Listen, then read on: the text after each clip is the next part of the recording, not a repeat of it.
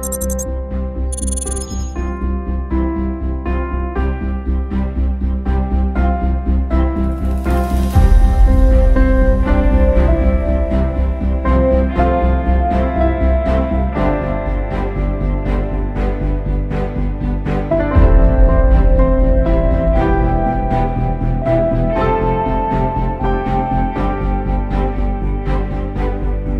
do you think the Greater Bay Area can to the Belt and Road Initiative in the future?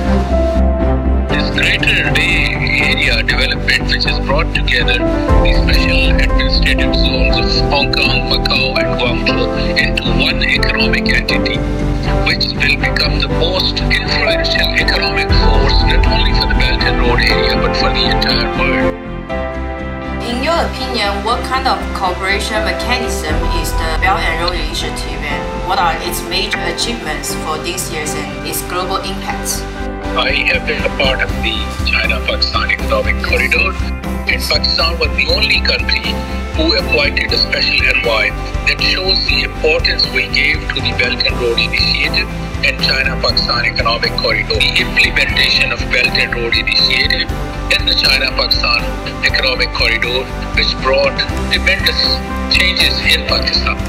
So within a short period of time, we became a success story for attracting foreign investment, not only from China, also from other countries, because it generated a lot of interest among all the countries about Pakistan because of the China-Pakistan Economic Corridor. The focus should be the people-centric, and the other thing which should be the quality projects. What role has exchange and cultivation of talents between China and Pakistan played in the high quality development of the China-Pakistan Economic Corridor? So in this way, talent training program, which is also a very important part of the Belt and Road Initiative, is to bring in young people from the countries where the Belt and Road is being implemented to come to China, study, learn new experience, gain knowledge, and return back to their countries and contribute to their own economic development.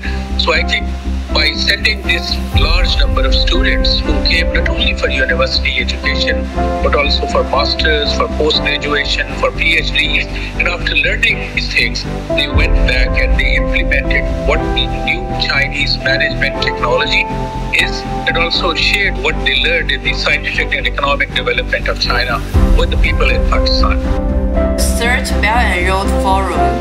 International Cooperation will be held soon in October. So what do you think is worth paying attention to at this forum?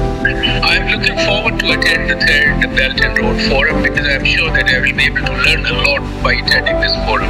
I think it will be a wonderful opportunity to share each other's experience and knowledge and then to work a strategy